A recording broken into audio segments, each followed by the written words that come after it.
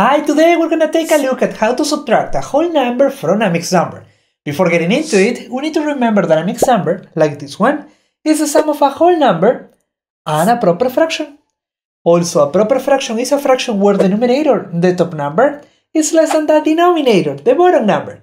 Two-thirds is a proper fraction, given that the numerator 2 is less than the denominator 3. Nice! Now we are ready for the first example. In this example, we are going to subtract 9 and 2 thirds minus 4.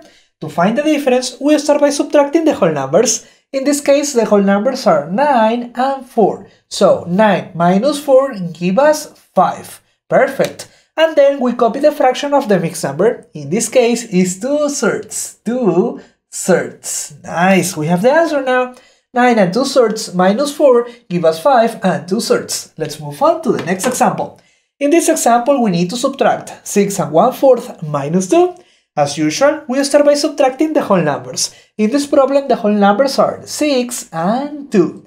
And 6 minus 2 give us 4, 4.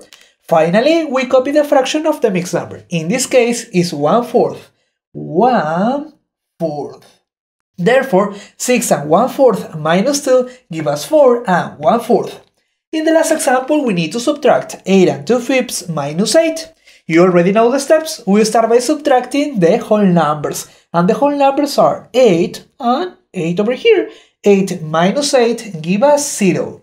And then we copy the fraction of the mixed number. 2 fifths.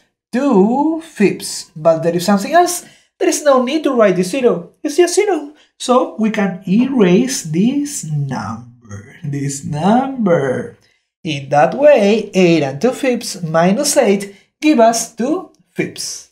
That's all for today. If you want to learn more about mixed numbers, check out this playlist. And here you have another video. Have a good one and see you next lesson. Bye!